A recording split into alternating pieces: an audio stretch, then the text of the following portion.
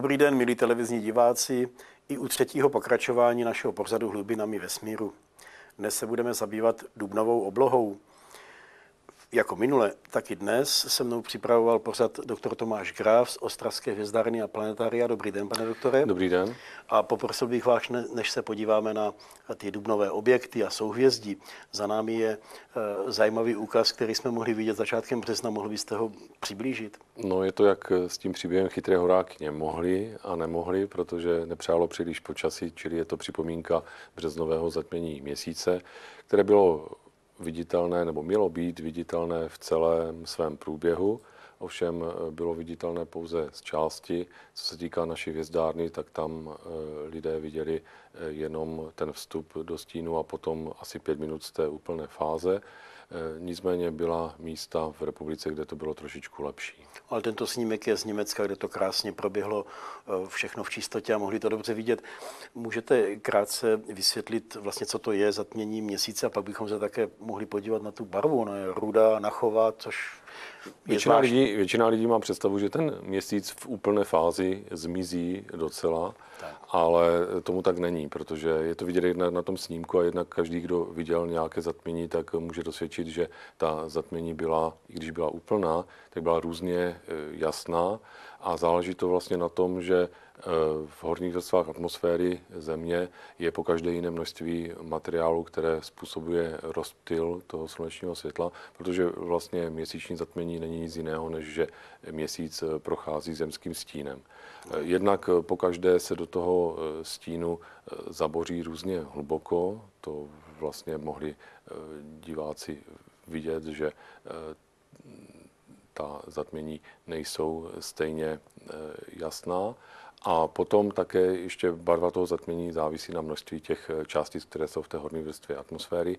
Je třeba známo, že po výbuchu nebo po masivních výbuších sopek jsou zatmění v tom následujícím období nesmírně tmavá.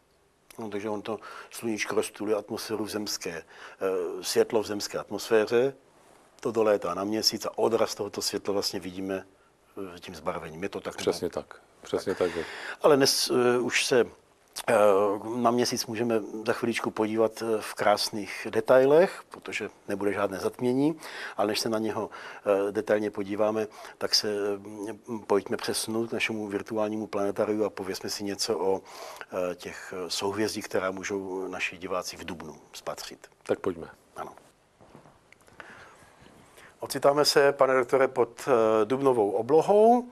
Kolem nás jsou všude krásná souhvězdí, mohl byste eh, blíže je popsat?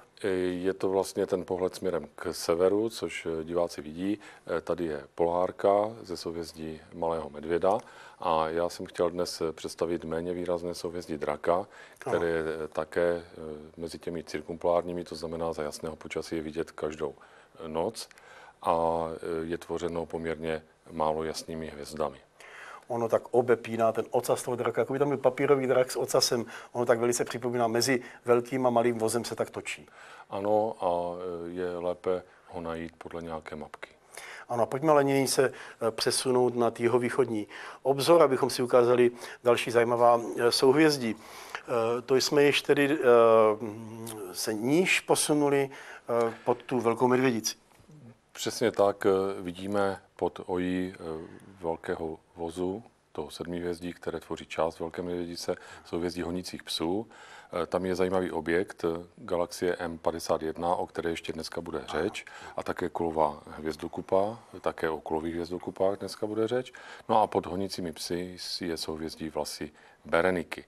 A my se ještě posuneme. Máme připraven ještě, ještě jeden prostřih e, a Tady. na té další mapce vidíme typické souhvězdí pro jarní oblohu pastýře, také severní korunu a na východ od severní koruny se nachází rozsáhlé souhvězdí Herkula, ve kterém je další kolová hvězdokupa, o které za chvilinku bude řeč. Tak to jsme byli pod dubnovou noční oblohou, ale nyní se už podíváme na zajímavé těleso sluneční soustavy. To, milí diváci, je nám úplně nejblíž a její měsíc.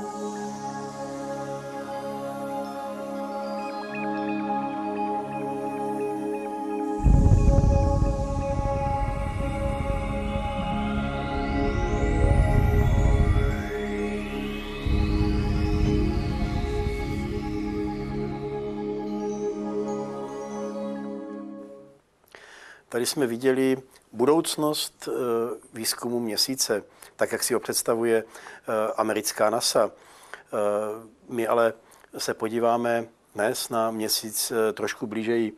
Pane doktore, tady nad námi jakoby visí v prostoru, ale je to těleso nám nejbližší, už o něm celkem víme podstatné věci, ale přesto, přesto bychom se na něho mohli podívat, jak vznikl, co o něm bližšího víme a jsou tam jistě i neznámé skutečnosti. Tak já si myslím, že měsíc očaroval lidi odedávna a e, i dnes, když je vidět z večera, ať už je to srpek nebo, nebo potom, když je vidět téměř e, celou noc a je, je v úplňku, tak při hezkém jasném počasí zaujme a zase je to taková satisfakce, protože v tu dobu není možné pozorovat slabší objekty, protože to měsíční světlo, i když víme, že je to rozptýlené a odražené světlo no. sluneční povrchem měsíce, tak eh, ty objekty přezáří. On ten měsíc eh, je jak velký, on má asi snad to čtvrtina, třetina, pětina země, máme trošku blížší o něm informace. Eh, samozřejmě nejenom, nejenom rozměrově, ale také hmotností ten rozdíl není až tak výrazný jako u těch přirozených satelitů jiných planet. To znamená, že dost často se, se mluví o tom, že je možné považovat Zemi s měsícem za jakousi dvojplanetu. Eh, z toho, z toho pohledu je také zajímavá ta eh, současná eh, teorie, která se nejvíc uznává vzniku měsíce, protože Země kdysi dávno, když ještě teprve se formovala, tak prodělala, je to zpátky, dejme tomu, více než 4 miliardy roků, srážku, která do jisté míry byla kritická. Přiletělo jiné protoplanetární těleso, čili zase taková vznikající planeta. Nejprve se o Zemi tečným nárazem otřela, No a potom, nebo tímto přiblížením se její dráha ve sluneční soustavě změnila natolik, že jenom udělala půl okruh kolem Země a zabořila se do zemské kůry.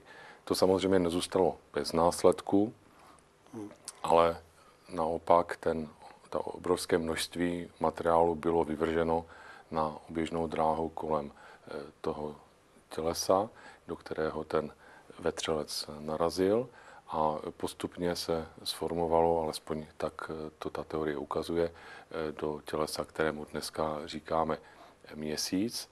A svědčí o tom mimo jiné mimo počítačových simulací také to, že měsíc je tvořen z eh, látek, které mají nižší hustotu a odpovídali by právě, nebo respektive ta, ta hustota těch látek odpovídá právě hustotě eh, látek a nerostu, z který se skládá eh, vlastně zemská kůra. Ano, to vlastně, když ten měsíc vznikal, to bylo podobné. V minulém pořadu jsme si říkali, že planeta Simala narazila zase do Venuše a změnila její rotaci. Tady zase narazila do Země, možná něco podobného a vzniklo tím nárazem a odloupnutím měsíc, takže ten bouřlivý vývoj na začátku formování sluneční soustavy byl bez pochyby něco jiného, než je dnes takový, takový poklid, dalo by se říct. Máte pravdu a podle těch propočtů to také mohlo dopadnout docela jinak, kdyby ten, ta první srážka nebyla tečná, ale byla přímá, tak hmm. byla v ohrožení eh, ta Celá planeta země. Simála, ta proto země hmm. jako, jako celek. Jistě. Eh, měsíc ale je tvořen dnes, tedy aspoň z povrchu vidíme tisíce kráterů. Některé jsou, některé jsou významně veliké a jsou vidět už i pouhým okem, když se člověk trošičku na to zaměří, třeba při tom úplníku má tu tendenci vidět, vidět už některé aspoň náznaky. Sotva tam nasměrujeme malinký daleko, už kukátko bych řekl divadelní traderem, pak už jsou vidět ty krátery e, prostě skvělým způsobem.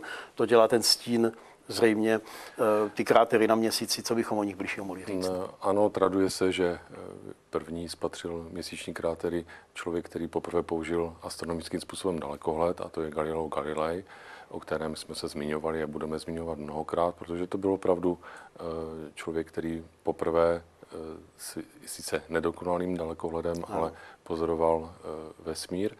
A dá se říci, že jste zmínil množství těch kráterů, že eh, do toho průměru nebo nad jeden kilometr v průměru eh, je tam řádově asi 10 tisíc kráterů, hmm. Eh, což je dáno tím, že na rozdíl od Země měsíc neměl nikdy v žádné části své existence pořádnou atmosféru a každé těleso, které dopadlo na něj a udělalo kráter, tak ten kráter je eh, otiskem už eh, na věčné časy a eh, vlastně není tam žádná ani větrná, ani vodní eroze. Jistě ty krátery některé ovšem byly asi obrovské. My tam říkáme, že tam jsou moře, a pevniny. Ve skutečnosti tam samozřejmě žádné moře není, to je takové starodávné označení, ale i to jsou snad veliké krátery po nějakých impaktech? Nebo... Eh, jestliže se podíváme na měsíc bez dalekohledu, tak eh, to, co vy říkáte, ta moře můžeme na první pohled spatřit, jsou to ty tmavější oblasti a eh, vlastně tím průzkumem bylo zjištěno, že to je vlastně čedičová láva, která se rozlila právě po takových nárazích s velkými tělesy nebo dopadech velkých těles, čili eh, ta, ta láva eh, vznikla sekundárně. No a má se za to, že ty velké impakty, ty dopady velkých hmotných těles mohly na nějakou dobu vyvolat také takovou vlastně sekundární druhotnou vulkanickou činnost měsíce. Ale opět se bavíme o dávné historii. O začátku. Ne v současné době a, a už mnoho miliard roků je měsíc v podstatě takový, jak jej vidíme. Ano, on ten eh, měsíc eh, má poetický, tolik básníků hovoří o luně, o měsíci, eh, také má poetické názvy, ty, ty, jeho, ty jeho hory i pánve nebo moře, moře klidu, moře dešťů, jsou tam jistě velmi jiné poetické názvy. Ale je zajímavé to, co jste řekl, že tam, jak dopadne prostě kráter, vytvoří tedy meteor kráter, takový to na věky věku, protože atmosféra žádná eroze neexistuje. Tak i, i když kosmonauti první nohou šlápli, před už mnoha a mnoha lety, eh, tak vlastně ta stopa tam je doteď. Nemá jí co zničit, než až zase možná další lidská posádka. Že? Ano. To je prostě je to... ten regolit, ten povrch, říká se taky regolit tomu povrchu. Je to tak, já, já si myslím, že, že spousta, spousta lidí eh, sní o tom, že třeba by to mohla být je, jejich bota, která, která překryje tu Oldrinovou. Bylo to krásné. Bylo by to krásné, určitě se toho dožijeme. Věřím tomu, protože už američané ohlásili, a nejenom oni, Evropa, ten zájem, Číňané, ten zájem o měsíc samozřejmě vzrostl po, po mnoha letech, ale je zajímavé, že eh, velmi dlouhou dobu po programu Apollo, ke, které, ke kterému se ještě dostaneme, ano. tak zůstával eh, měsíc na okraji zájmu, eh, protože de facto nějaká první pořádná sonda po té přestávce přiletěla k měsíci až v roce 1994, sonda Clementine. Ale to předbíhám, vzali jsme to trošku na přeskáčku, protože eh, člověk eh, Jistě. samozřejmě začal takový ten průzkum na místě hned s rozvojem za, za úsvitu kosmonautiky a eh, například první dopad, čili ne, ne příliš měkké přistání, měkké přistání. ale záměrný dopad, dopad eh, proběhl nebo vykonala sonda Luna 1 už v roce 1959 a v témže roce Luna 3 obletěla měsíc a poprvé předala na Zemi fotografii, fotografie té odvrácené strany. No, je to zajímavé, ten, ten počáteční výzkum vůbec kosmonautiky byl takový velice rychlý z dnešního pohledu. Že od Sputniku uběhlo pár let a dopadla sonda na měsíc, za chvíli na to vyletěl Gagarin do měsíci a pár let poté, 6, 7, 8 let, abych to neřekl přesně, vlastně přistál člověk na měsíci. A teď už uběhlo Jestli si dobře počítám, 1969 první noha stanula člověka na měsíci, dneska 2007, je to 38 let. Je zajímavé, že také ten rozvoj, především ten program Apollo, vedl k obrovskému optimismu A když bychom se podívali do dobových dokumentů, tak si myslím, že bychom tam našli seriózní eh, předpovědi, že do konce 20. století eh, stane noha člověka na Marsu.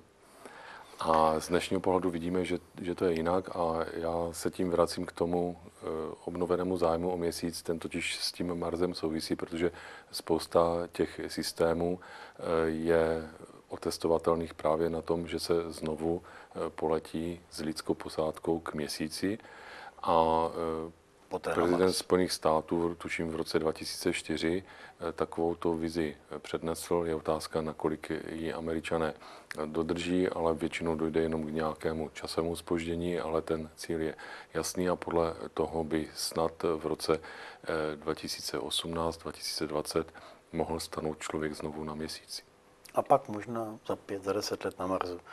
Ale to, o si myslím, to si myslím, že za delší dobu. Za delší, dobu od toho, ale uvidíme, jestli třeba ten rok 2018-2020 je bude pravdivý, alespoň pro ten měsíc, protože ta, ta motivace trošku poklesla. Přiznejme si to, že jestliže eh, ten měsíc byl tak podrobně proskoumán, například eh, k tomu, aby byl proskoumán jeho povrch, tak eh, posloužila už ta zmíněná sonda Clementine, tam nebylo potřeba lidské posádky a mm, do pozemských laboratoří bylo samotným programem Apollo přivezeno několik set kilogramů hornin. Mhm. Mnohé, mnohé z nich jsou zakonzervovány v původním stavu a eh, vlastně, když přicházejí nové technologie zkoumání výzkumu hornin, no, tak se mohou na těch vzorcích aplikovat. Jistě, ale zvědavost člověka a touha zvednout uh, sám sebe do hlubin vesmíru. Já nepochybuji o tom, že člověk znovu stane na měsíci, i když možná z toho technického hlediska to není až tak, až tak eh, důležité a zajímavé. Ale do budoucna určitě budou laboratoře a možná kosmodromy a výzkumné, výzkumné ústavy na měsíc. O takových stálých laboratořích a něčem takovém uvažují i některé japonské plány ale je to opravdu hudba ještě poměrně vzdálené budoucnosti. A chtěl, chtěl bych ještě říct, aby to nebyla jen taková technická záležitost, že mnoho astronomů a především radioastronomů také pošilhává po měsíci, protože v jistých ohledech je to ideální místo k sledování vesmíru, především ta odvrácená strana a především pro radioastronomii, protože tady na Zemi vlastně ty radiokomunikační prostředky velmi, velmi eh, ruší ta, eh, ten příjem signálu, rádiových signálů ze vzdálených míst vesmíru. Tady jsme, milí diváci, viděli několik eh, zajímavých fotografií. Už z prvních návštěv eh, Američanů na měsíci, prvního člověka na měsíci, Neila Armstronga, ale pojďme se nyní s panem doktorem podívat a společně s vámi na eh, dobové záběry z eh, sond a modulu Apollo a něco bližšího si o nich povíme.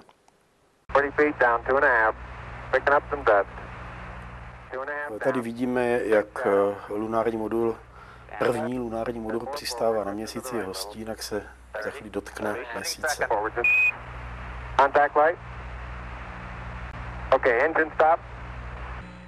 Začínají první kroky kosmonauta na měsíci. Ano, a to je vlastně důkaz, že byla pronesena ta slavná věta, je to malý krok pro člověka, ale velký skok pro lidstvo. It's one small step for man, one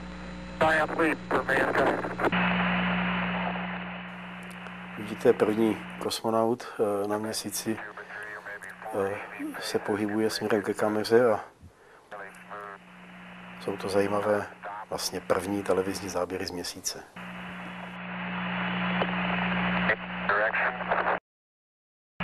Like a football player, you just have to cut a little bit.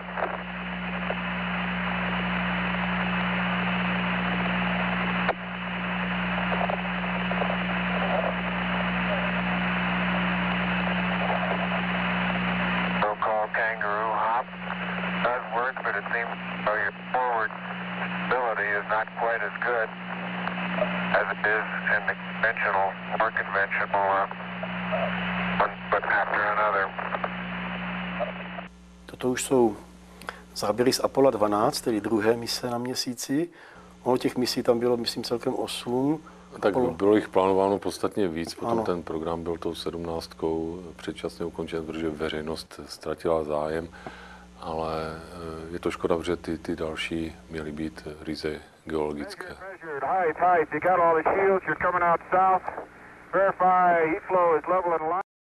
Astronauté sami eh, říkali, že to bylo těžké naučit se pohybovat eh, v tom prostředí, kde je ta gravitace šestkrát menší, takže většinou se eh, než normální chůzi pohybovali přískoky.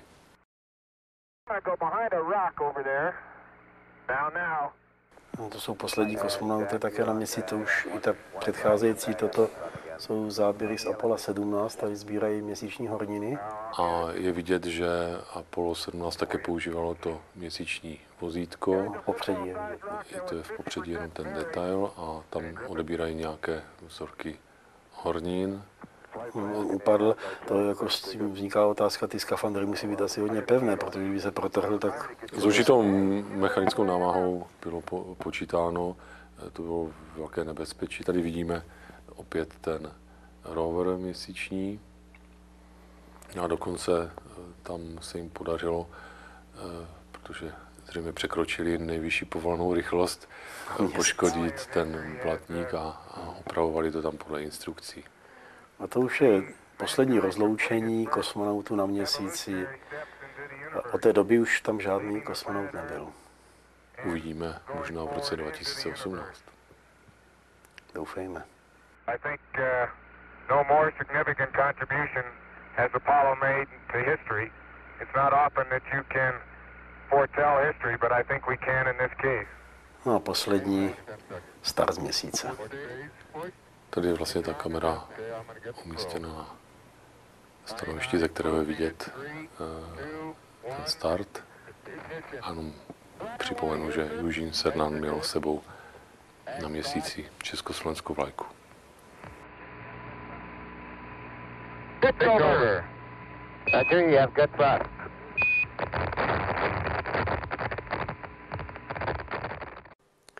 Uchvatný program Apollo, myslím, že natchne každého, kdo se na něho chvíli dívá. Eh, máme se tedy jistě snad za 10, snad za 12 let na co těšit. Nyní ale už eh, pojďme, pane doktore, eh, pozvat naše diváky k větším dálavám našeho kosmu a podíváme se do naší galaxie a myslím, že až na její okraj.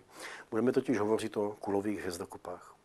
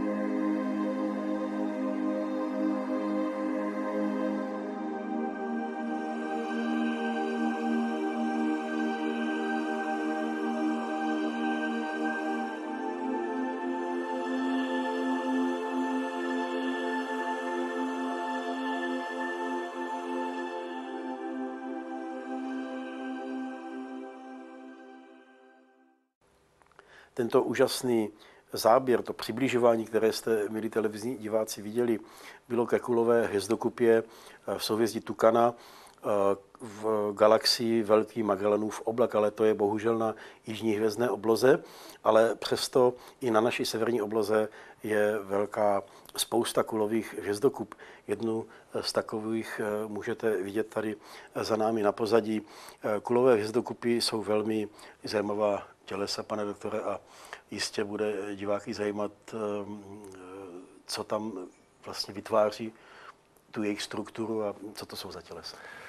Já se ještě vrátím k tomu, abych zdůraznil tu hierarchii, že v této části pořadu se věnujeme vždycky objektům, které jsou sice poměrně už hodně daleko, ve srovnání s měsícem mnohem dál, ale jsou ještě pořád v naší galaxii, čili v našem hvězdném ostrově a jestliže naši galaxii nazývám hvězdným ostrovem, tak eh, si dovolím ty kolové hvězdokupy nazvat hvězdními ostrůvky v tomto hvězdném ostrově, protože eh, jsou tvořeny hvězdami, které jsou různě hmotné, ale přibližně stejného stáří.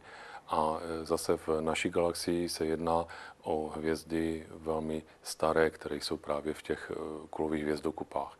Z toho důvodu tam veškerá ta látka je použita už, nebo byla použita ke, při hvězdné tvorbě, anebo odvanula vlivem hvězdného větru do eh, mezi hvězdného, případně mezigalaktického prostoru, protože mnohé ty kolové hvězdokupy jsou hodně vzdáleny od roviny eh, naší galaxie, od, od toho galaktického rovníku. A e, jestliže se bavíme o tom stáří, a pořád říkám, že to je hodně, hodně staré, tak opravdu e, vychází to na nějakých 10 až 12 miliard roků. E, některé z těch nejstarších kolových hvězdokup, že, že by mohly mít dokonce e, jednu, jednu dobu byl na světě takový paradox, kdy když se zkoumalo stáří hvězd v kolových hvězdokupách, docházelo se k tomu, že by že to stáří vycházelo vyšší než mm, celkové stáří vesmíru určené z rychlosti rozpínání vesmíru. Dneska eh, ten paradox je překročen, nebo respektive byl úspěšně vyřešen eh, tím, že přesnější měření rychlosti rozpínání vesmíru ukázala na, na jeho stáří asi 13 eh, a 7 desetin miliardy roku. To znamená, že i ty nejstarší kolové hvězdokupy jsou mladší než vesmír. No jistě, ale přesto tedy byly tvořeny, řekli bych, z dnešního pohledu opravdu někdy po počátku vesmíru. Eh, tak, eh, a navíc tedy oni mají tu kulovou strukturu, hm, ta, já vím, že koule je normálním jaksi, objektem, eh, ale přesto je to výjimečné, protože všude jinde máte různě roztříštěné mlhoviny, galaxie tvoří disky. Proč je to koule, tady tento objekt? Zdá se, že je to gravitačně stabilní objekt. A ta gravitační stabilita eh, se soudí, že je dána eh, především velkým počtem eh, členů. To znamená, takové ty běžné kolové hvězdokupy mají několik set tisíc hvězd a je tam určitá taková rovnováha. Čas od času se, se může stát to, že některá hvězda tu hvězdokupu opustí, ale ten proces je poměrně pomalý a ten, ten útvar si zachovává svůj tvár. A ty hvězdy v té kulové hvězdokupě jsou všechny stejného typu, nebo může to, mohou tam být hvězdy různého typu? Samozřejmě, že závisí na tom, jak, jakou mají hmotnost a podle toho dospějí do různých vývojových stádií. V kulových hvězdokupách jsou často hvězdy, kterým se říká modří opozdělci a e, to jsou hvězdy, které e, jakoby jsou opožděné v tom svém vývojovém stádiu, že, že jako se jeví co by mladší. Ukázalo se, že je to dáno tím, že v určité části svého života e, převzali hmotu z jiné hvězdy. A to znamená, že se jakoby tím omladili, respektive, že, že ty, ty procesy, které tam běží v těch hvězdách, tak mohly běžet dále, protože jinak už eh, by byli v závěrečných stádiích svého vývoje. Myslím, že by bylo třeba zajímavé si představit, kdyby naše země byla oběžnící nějaké hvězdy v kulové hvězdokupě, to by asi to nebe vypadalo trošku jinak. Zřejmě bychom neviděli ty daleké galaxie, domnívám se. Eh, já eh, jsem si tady připravil jeden citát, respektive citát z knížky docenta Mikuláška, protože to dělá dojem, že na takové pomyslné planetě bychom neměli vůbec noc a pořád by bylo světlo, ale když se to propočítá, tak sice tam ta hustota hvězd je vyšší, ale není to zase takové, že bychom si v noci mohli eh, číst knihu. Eh, tedy cituji. Na noční obloze navštívené planety bychom mohli napočítat asi 30 tisíc hvězd viditelných pouhým okem. To je asi desetkrát víc, než kolik jich spatříme na bezměsíčné pozemské obloze.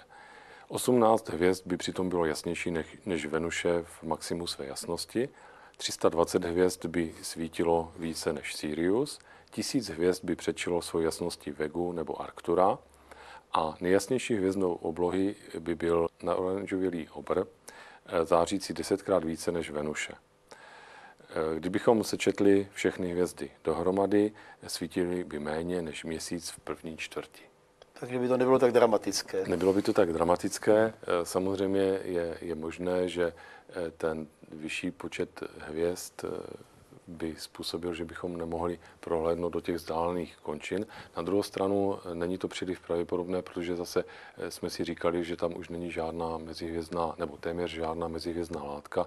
To znamená, že mezi těmi hvězdami bychom normálně do toho mezigalaktického prostoru prohlédli, dohlédli, pokud by nám v tom samozřejmě nevadily jiné části galaxie. Ke středu té kulové hvězdokupy by pravděpodobně se také to trošku zhušťovalo, ale to... To zajista. Eh, ty rozměry těch kulových hvězdů jsou jaké a ty vzdálenosti těch hvězd se to blížejí? Víme o tom blížejí něco? Vezměme si dva eh, takové příklady. Eh, podívejme se na kulovou hvězdokupu M13, která je velmi známá, říká se taky mnohdy velká kulová hvězdokupa v Herkulovi tak ta je vzdálená asi 25 tisíc světelných roků. A když bychom vlastně spočítali jedný skutečně lineární průměr, tak z toho, z toho co vidíme, je, je to zhruba 145 světelných let. Jiným příkladem je kulová hvězdokupa, kulová hvězdokupa, kterou už jsme zmiňovali, že se nachází v souhvězdí honicích psů. A ta nese označení M3 je vzdálená 34 eh, tisíc světelných roků. A když se zase eh, přepočte eh, ten její průměr, tak je zhruba 180 světelných roků. Čili řádově se dá říci, že ty kulové hvězdokupy jsou od nás vzdáleny desetitisíce světelných let a jejich lineární rozměr skutečný je, je řádově stovky světelných, nebo stovka sto světelných roků.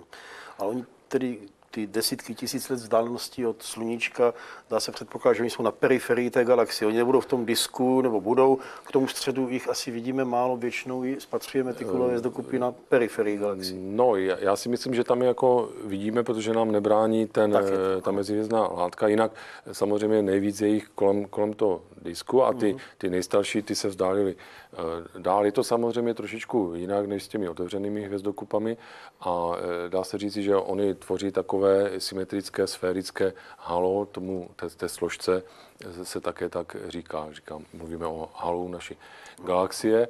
A ještě bych zmínil, eh, že to jsem možná to nekladl takový důraz, že je obrovský rozdíl také v počtu eh, členů, eh, čili v počtu těch jednotlivých hvězd v těch kulových hvězdokupách. To, to znamená, že u té zmíněné M13 to, to může být několik set tisíc hvězd, ale známe kulové hvězdokupy, které mají i přes milion členů. Kulových eh, hvězdokup je, milí televizní diváci, veliké množství. Jenom v naší galaxii jich, pane doktore, můžeme spatřit na obloze určitě to bude přes tisíc. Já se domnívám, nikdy jsem to nepočítal a do, do katalogu jsem se nedíval, ale eh, je jich veliké množství všude ve vesmíru. To bychom asi tvrdit mohli úspěšně. Eh, máte pravdu, že se začínají pozorovat i v jiných galaxiích, respektive pozorovací technika to, to umožňuje.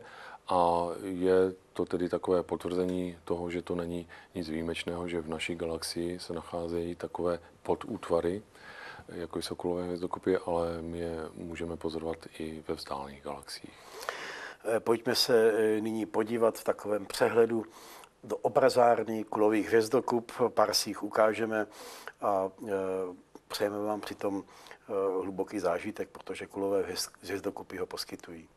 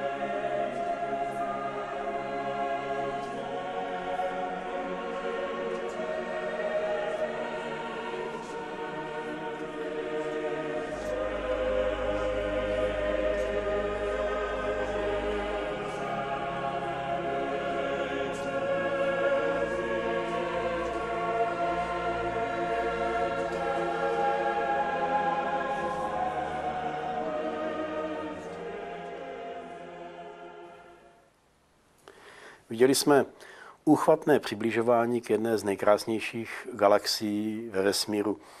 Eh, vidíte již na našem pozadí, že je to mm, galaxie velmi atypická nebo aspoň nezvyklá, mm, protože jsme takovou ještě neviděli.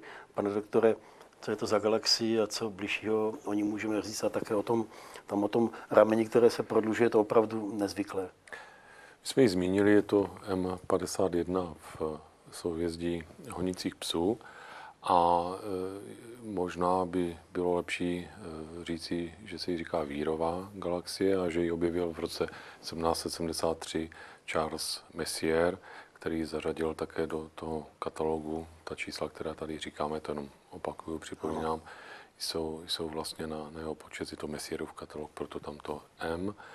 No a e, dá se říci, že ona má takovou zvláštní vlastnost, že má to jedno rameno eh, protažené. Eh, má se za to, že je to interakce s tou menší galaxií, ta už nemá Messierovo číslo, ale ten souputník, respektive on si Messier eh, také povšiml, a respektive jeho současníci, ale e, nedostala zvláštní označení, nedostala zvláštní Messierové číslo, byla označována jako M51 a, to byla ta velká, a 51B. My dneska ji označujeme jako NGC 5195 a dá se říci, že pozorujeme prolínání části těch eh, galaxií. Tam, tam, dochází, tam dochází k nějakému styku. Často, často se říká, že, že galaxie kolidují, ale není to kolize v tom pravém slova smyslu, jako u aut, kdy se bortí eh, plechy, ale ty galaxie se gravitačně ovlivňují a mohou se určitým způsobem jakoby prolnout, aniž by se jednotlivé hvězdy v té galaxii srazily, ale daleko sáhlé důsledky to má, protože gravitačně se ovlivní ta eh, mezihvězdná hmota a vede to většinou potom eh, k takové překotné, velmi rychlé tvorbě nových eh, hvězd. Ona tato galaxie je tam samotná, ty, ty dvě jsou tam samotné nebo vytváří nějakou místní skupinu galaxií. Podobně jsme mluvili minule o té galaxii M101 ve Velké Medvědici a tam měla taky jakousi místní skupinu galaxií. I tady je to obvykle. Vírová galaxie je dominantní člen největší člen takové malé skupiny galaxií. Eh, mezi eh, tyto patří ta NGC 5195, eh, ale také třeba galaxie M63, která je známější pod názvem Slunečnice. Ještě bych zmínil, že jenom pro pořádek, že už tedy koukáme do velmi vzdáleného vesmíru, už koukáme mimo naši galaxii, když pozorujeme extragalaktický objekt a vzdálenost je to, je to různé, která se udává pro tuto eh, galaxii, čili já jsem dělal takový průměr, je to asi 30 až 35 eh, milionů světelných roků. Byť se pohybujeme v těch milionových vzdálenostech, ale to už je obvykle v tom galaktickém prostoru. Je to v té tak. naší galaxii se pohybujeme možná ve stovkách tisíc světelných let, jak to bylo u těch kulových hvězdokup, a teď ano. už jsme v milionech, v desítkách milionů světelných let. Eh, my se, eh, milí televizní diváci, na chvilku také podíváme na tu galaxii M63 neboli slunečnici, jak se tady zmiňoval eh, pan doktor abychom se podívali, jak mohou být různa, různé ty galaxie v takové jedné, jedné skupině galaxií.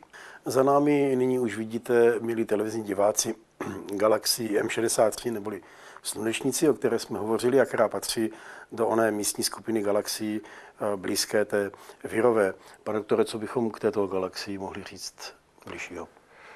Eh, jestliže ta eh, vírová byla první galaxie, která byla rozlišena jako, jako spirální, tak i tady tato slunečnice je spirální galaxií a zrovna tak, eh, vy jste říkal, že patří do, do té skupiny, čili je vzdálená asi 35 eh, milionů světelných roků. A zrovna tak eh, i ona byla v polovině 19. století jednou, jednou z prvních, kde byla rozeznaná ta spirálovitá struktura. Protože to, jak jsem mluvil o těch objevech, tak to vlastně byly objevy, že někdo si všimnul, že, že tam je nějaký mlhavý obláček, který není, ale ta, ta podstata nebyla, nebyla známa. Chtěl bych jenom zmínit, že tu vírovou galaxii můžeme roz, rozlišit jako, že má spirální strukturu už při vynikajících podmínkách 15 cm dalekohledem, to tady na, na tu slunečnici si myslím, že bychom potřebovali dalekohled ještě o něco málo větší. Na tom snímku je, je vidět dost dobře ta spirální struktura a e, také bych chtěl říci, že v těch galaxiích čas od času můžeme pozorovat supernovy. Ano. E, ve Vírové galaxii byly za, za celou tu historicky známou dobu, co, co ji známe, pozorovány dvě a jedna v té, té sousední menší galaxii. Tady ve, ve slunečnici byla objevena, byla pozorována zatím supernova jediná, která splanula v roce 1971. K supernovám se bez pochyby vrátíme, protože oni vytváří i velmi zajímavá, aspoň atraktivní tělesa po jaksi tom skončeném stádiu a to bude spíš eh, téma na léto, kde, kde, kde budou eh, krásně ty objekty vidět. Eh, nyní vás už ale, milí televizní diváci, pozvu k takové přehlídce galaxií, které spolu vzájemně se nějak setkávají nebo prolínají se. Těch je ve vesmíru velké množství a my vám je nyní přiblížíme.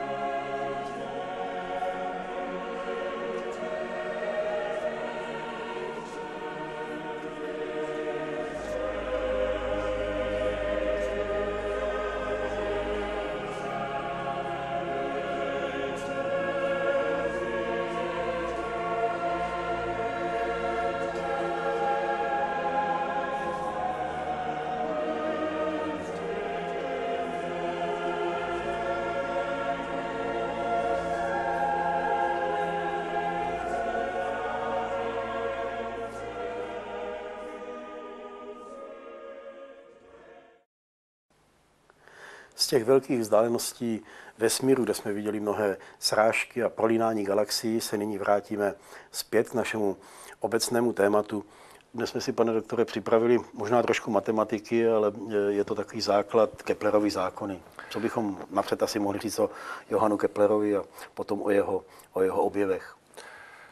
Tak Johann Kepler se narodil v roce 1571 poblíž Stuttgartu, dneska ta obec už je součástí Velkého Stuttgartu.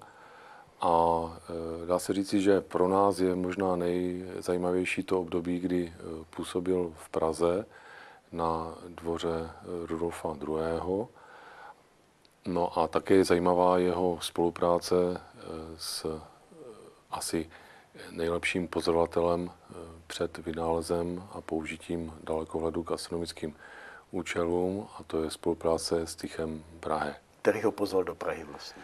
Nevím, jestli ho pozval přímo on, je doloženo, ale že už v 90. letech 16. století byli v písemném kontaktu a e, posléze, když on na, v roce 1600 přijíždí do Prahy, aby byl asistentem Tycha Brahe, tak vlastně jsou i v kontaktu osobním a pak, když v roce 1601 Brahe umírá, tak Kepler nastupuje na jeho místo královského, respektive císařského matematika.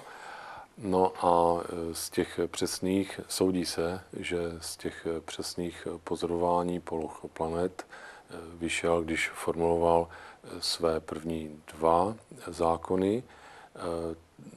Ty byly v jednom díle a o několik let později formuloval ten, ten třetí. třetí zákon. Čili ten, ten první zákon říká, že eh, tělesa ve sluneční soustavě, respektive planety, se pohybují kolem Slunce po eliptických drahách, které jsou hodně blízké kružnicím. Tam jsou jasné zákonitosti, podle kterých i dnes se vlastně využívá v kosmonautice a v těchto, věd, v těchto no, oborech. To vlastně popisuje všechny ty tři eh, zákony a jejich eh, zobecněním a zpřesnění toho třetího zákona přinesla až eh, mnohem obecněji pojatá teorie gravitace, kterou formuloval Isaac Newton. Ale to předbíháme, to předbíháme, protože, jak říkám, to jsou empirické zákony, čili ty vznikly na základě zkušeností a, jak říkám, nebyly jenom Keplerovi, ale převzal ta, ta přesná pozorování, z kterých vyvodil ty, ty zákony od eh, Tycha Brahe. Dobře, to byl tedy první První jsme si řekli, ten, ten druhý, ten eh, říká, že eh, to těleso, planeta opět, se pohybuje na dráze rychlostí, která se mění. A e, to tak, že plošná rychlost je e, v každém okamžiku stejná. To znamená, že e, plocha obsaná průvodičem, my to uvidíme i na tom, na tom snímku, že plocha obsaná průvodičem planety je za stejný časový úsek rovněž stejná. V tom praktickém důsledku, dejme tomu, když bychom to vzali na příkladu Země, to znamená, že jestliže je Země nejblíž Slunci na své dráze, eh, k čemuž eh, dochází eh, v době kolem 3. 4. ledna každého roku, tak se pohybuje rychleji, než když je dále, to znamená někdy začátkem července ten pohyb je pomalejší. To jenom takhle trošku odbočím, ale jenom malinko, že je milný názor, že léto je tehdy, když je země nejblíž slunce. Ne, ne, ne, to je zase nakloněním zemské osy, ale to vysvětlíme si, někdy, vysvětlíme si někdy, někdy jindy. Ale podle Keplerových zákonů jde o rychlosti. Přesně tak, o, o plošnou, o plošnou, plošnou rychlost. rychlost, eh, která je, se zachovává a ta e, rychlost e, lineární na té dráze, ta se mění e, v tom smyslu, jak jsem řekl. A třetí Keplerův zákon? Třetí Keplerův zákon, to je, jak později bylo zjištěno, ten, který formuloval v takové nepřesné podobě, protože empiricky to, to jinak nešlo, potom do toho vstoupily ty hmotnosti. Ten říká, že dvojmoci oběžných dob planet se mají k sobě, to přímo cituju ten, ten, tu formulaci, kterou Kepler použil, jako trojmoci jejich velkých poloos. Trošku to blíže můžeme vysvětlit. E, to znamená, jestliže uděláme eh, druhou mocninu period planet a uděláme z nich podíl, dostaneme stejné číslo, jako když u stejných planet dáme do podílu třetí mocniny jejich vel, velkých poloos, což by se dalo říct, že, že jsou tedy průměrné, jejich průměrné nebo střední vzdálenosti od Slunce. Snad by se dalo laicky říct, že podle tohoto zákona třetího Keplerova také obíhají naše planety doba oběhu Země je podstatně kratší než doba oběhu Jupitera kolem Sluníčka. Ano a e, tělesa, která se pohybují v centrálním gravitačním poli nějakého velmi hmotného tělesa, většinou je to hvězda, tak všechna podléhají tady tomuto zákonu. On se taky říká, že, že ten pohyb kolem toho centrálního tělesa je keplerovský, čili z toho, z toho plyne, že není to staženo jenom na e, sluneční soustavu, ale pokud pozorujeme, že někde nějaká dvojhvězda nebo vícenásobný hvězdný systém obíhá kolem společného těžiště, lze v určitých případech e, tento e, třetí Keplerův zákon také aplikovat a ono se to využívá. On byl i zdatný pozorovatel a podle něho, eh, protože to byl slavný matematik a astronom, byly pojmenované i nějaké objekty, když byste to mohli nějak představit. Eh, asi máte na mysli, že v roce 1604 objevil nebo pozoroval eh, supernovu a ta nese jeho jméno, ale on se věnoval také jiným disciplínám, například sledoval vločky, sněhové vločky a objevil určité symetrie, které se tam opakují, anebo eh, vylepšil dalekohled. Je, je znám pod jeho jménem a je to vlastně dalekohled, jehož optickou soustavu tvoří dvě spojené čočky. A některé ty objekty, které jsou podle Keplera, to jsou, myslím, krátery na měsíci, kráter, kráter jeden na, na měsíci, měsíci nese, nese jeho A na Marsu mám pocit, že taky kráter. A eh, rovněž na povrchu Marsu eh, nese jeho jméno, jeden z kráterů. Kromě Johana Keplera Eh, je známá celá řada významných astronomů a osobností. Byl tu již zmíněn Isaac Newton, známe Alberta Einsteina, budeme se jistě v budoucích pořadech těmito osobnostmi a objevy, které oni, oni učinili, zabývat. Eh, já vás ale již nyní pozvu k květnovému eh, vysílání našeho pořadu. Eh, kde se budeme zabývat eh, trošku zase blížej Saturnem. Nebude to tak jako v prvním dílu, zde se víc zaměříme na prstence a jeho největší měsíce, to je Rea, Dione, Japetus, Tethys a Enceladus. Eh, také samozřejmě nahledneme k některému zajímavému objektu v naší galaxii a posuneme se i mimo naší galaxii do těch velkých hlubin vesmíru. Pro dnešek eh, eh, děkuji eh, panu Tomáši Gráfovi z Hvězdárny a Planetária v Ostravě a s vámi, milí televizní diváci, se těším pod květnovou oblohou. Naschledanou.